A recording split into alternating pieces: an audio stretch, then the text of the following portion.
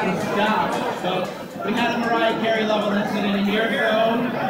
I don't know what's going on next. Gavin, you want to come down?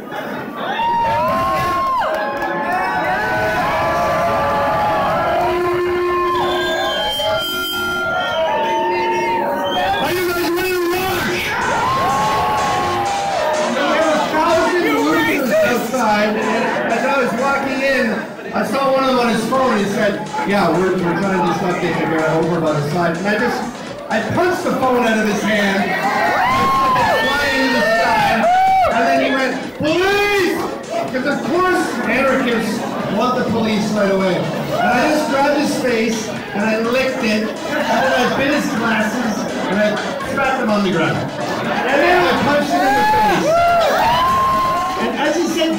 I punched him again, and my hand went into his face. Hey, I'm here with Colin, and uh, we're at the, a Night for Freedom that Mike Cernovich put on. If loving this country means I'm a radical, then I'm a revolutionary. And if going outside tonight and beating the living shit out of radicals means I'm a radical, then I'm a revolutionary.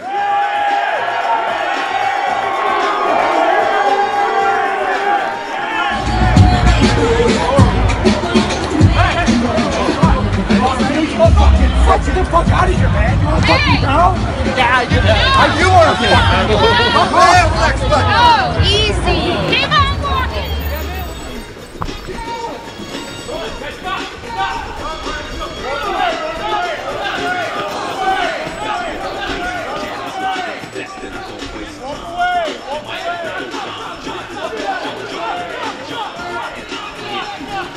Let see those Proud Boys. Yeah!